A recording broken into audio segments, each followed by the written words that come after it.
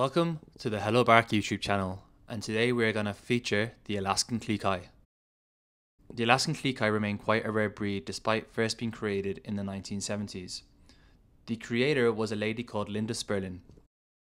She sought to create a companion-sized husky dog.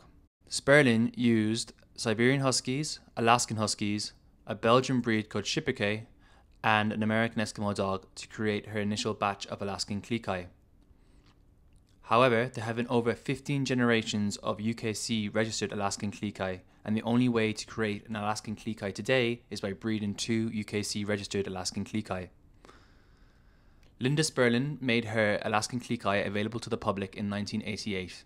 She writes on the Alaskan Klee Association of America's website that she derived the name Klee from the Eskimo words meaning little dog. Alaskan Klee come in three different sizes standard, miniature, and toy.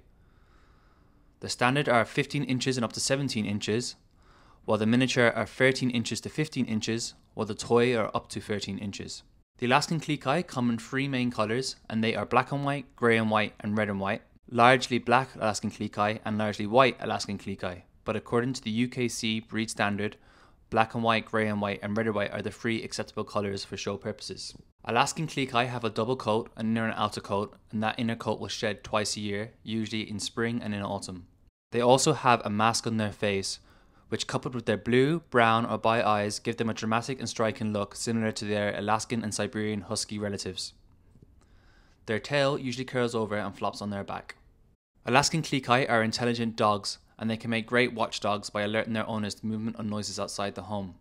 While Klee are smart, you will need to start training your Klee from a young age to ensure that they pick up the basic obedience and skills required. It is recommended that you start breeding your Alaskan Klee from a young age to play down the ground rules and the basic obedience. Alaskan Klee were bred to be companion dogs, so they like being around humans. Usually, they will become quite attached to one person and become something of a Velcro dog. Alaskan Klee can be shy or aloof around people they don't know, so it is recommended that you bring your Alaskan Klee puppy with you everywhere you go from a young age to get them used to meeting new people, new dogs, and new situations. Alaskan Klee can be very curious, which means they can be a bit of a flight risk. They're expert escape artists, so you'll need to make sure that your yard garden is properly secured to make sure they can't escape. They do have a high prey drive, which means that they will chase small animals such as squirrels, gophers, cats. Alaskan Klee need moderate exercise. They are relatively high energy dogs, so it is recommended that you bring them for a daily walk you can also do training with them to keep them mentally stimulated or play games in your backyard at home to also keep them entertained. The Alaskan Klee Association of America's website says that they're extremely smart, so you will find Alaskan Klee succeeded not only in the conformation ring, but in performance events like obedience, agility, nose work, and weight pull. Alaskan Klee shed twice a year when they blow out their inner coat. Alaskan Klee are not considered a hypoallergenic dog breed. Alaskan Klee can also suffer from separation anxiety. They are loyal companion dogs, but some will struggle when they are left at home alone.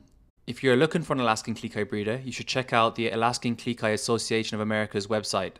There are a list of over 50 reputable breeders that have signed up to the organization's code of ethics.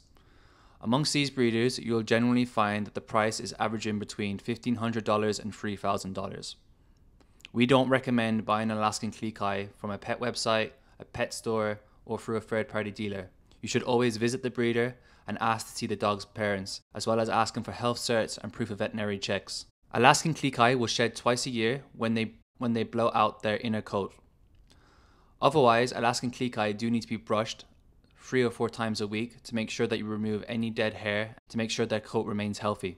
Some of the famous Alaskan Klee owners include Sophie Turner from Game of Thrones, as well as Bill Belichick of the New England Patriots. If you're looking to learn more about Alaskan Klee you can always check out some examples of the breed on Instagram. Some of the best known Alaskan Klee on Instagram are Life with Klee My Love on Paws, and Hobbit Paws.